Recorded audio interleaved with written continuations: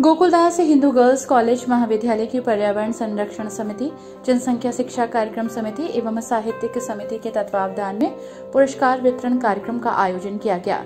कार्यक्रम का शुभारंभ मुख्य अतिथि डॉक्टर जयपाल सिंह, वेस्ट उत्तर प्रदेश विधान परिषद सदस्य, मुख्य अतिथि प्रिया अग्रवाल, प्राचार्य प्रोफेसर चारू मेहरुत्रा उप प्राचार्य डॉक्टर अंजना दास एवं मुख्य अनुशासिका डॉक्टर गीता परिहार द्वारा माँ सरस्वती के समक्ष दीप प्रज्वलित करके किया गया। स्वागत की बात तो मुझे शुरू ही करनी थी, लेकिन फिर भी मैं ये बात ज़रूर कि अतिथि देव आप पधारे स्वागत को स्वीकार। द्वार हमारे आप आ गए।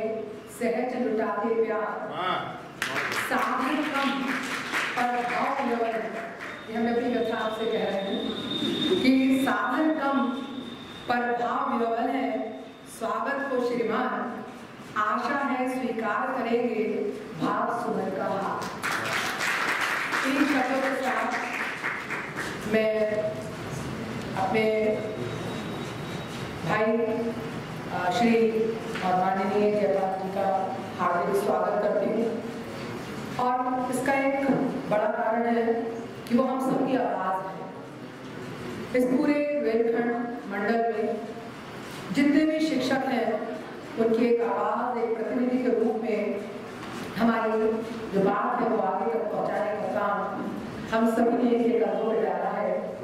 इसके पश्चात छात्राओं द्वारा सरस्वती वंदना प्रस्तुत की गई। सम्मानित अतिथियों का स्वागत प्राचार्य द्वारा पुष्प गुच्छ एवं प्रतीक चिन्ह भेंट करके किया गया। इसके बाद छात्राओं द्वारा महाविद्यालय का कुल गीत प्रस्तुत किया गया और इस अवसर पर doctor Praveen Saini, associate professor, संगीत विभाग के पुस्तक, हिंदुस्तानी ताल पद्धति और कर्नाटक ताल पद्धति में सामंजस्य का विमोचन सम्मानित अतिथियों के कर कमलों द्वारा किया गया। तो बेसिक तो कोई डिफरेंस है नहीं अब जैसे उदाहरण के तौर पर, एक राग है आसाम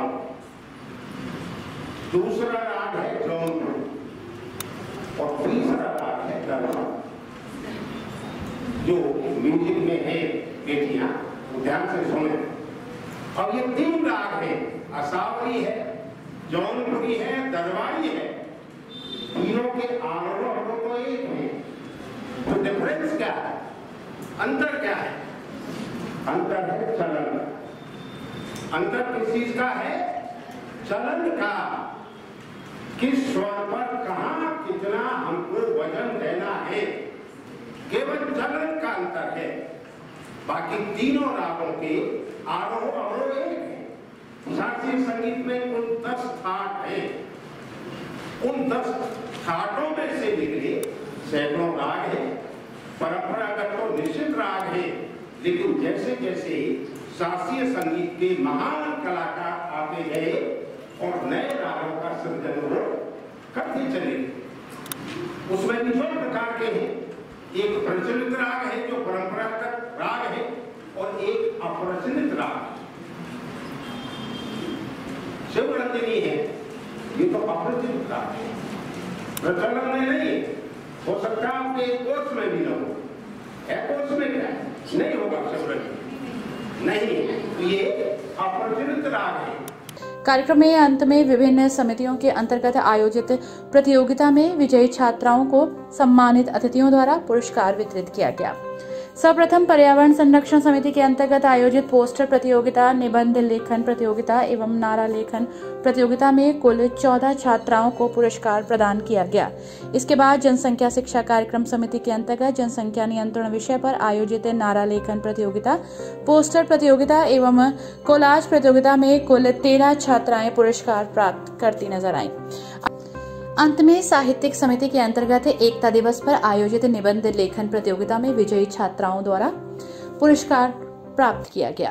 महाविद्यालय में एक पुस्तक का विमोचन और बच्चों के बीच में पुरस्कार वितरण कार्यक्रम किया गया जिसमें हमारे बीच आ, हम लोगों के प्रतिनिधि टीचर्स के प्रतिनिधि एमएलसी माननीय जयपाल व्यास जी एवं आ, आ, एक भाजपा की एक बहुत ही चमकता हुआ प्रतिभावान चेहरा प्रिया अग्रवाल जी हमारे बीच में उपस्थित रहीं और उन्होंने बच्चों का उत्साहवर्धन किया। पुस्तक जो है वो कर्नाटक संगीत और हिंदी संगीत के एक कंपैरेटिव स्टडी के ऊपर रिसर्च लेवल की पुस्तक है जिसमें हमारे विभाग, संगीत विभाग की जो शिक्षिका हैं डॉक्टर प्रवीण सैनी जी उन्होंने एक तुलनात्मक अध्ययन उसके अंदर बताया है और हम सभी जानते हैं कि संगीत की कोई भाषा नहीं होती और केवल उसमें एक लय, ताल, सुर एक ऐसा होता है जो किसी भी भाषा का जानने वाला हो, वो उसके दिल पर, उसकी आत्मा पर प्रभाव डालता है और उसके अंदर एक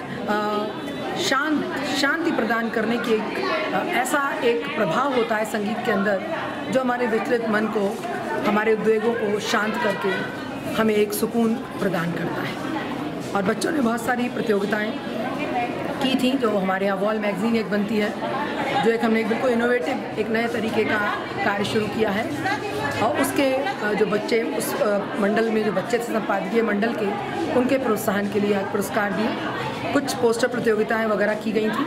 अ, उनके ऊपर बच्चों ने जो निबंध लेखन था या पोस्टर प्रतियोगिताएँ थी उनमें जो स्थान प्राप्त किया तो उन बच्चों का उत्साहवर्धन करने के लिए आज ये कार्यक्रम किया। आगे भी इस तरह कार्यक्रम किए हमारे निरंतर होते रहते हैं इन कार्यक्रमों को और हमारा लक्ष्य यही है कि महाविद्यालय की प्रतिभाएँ उभर कर आएँ।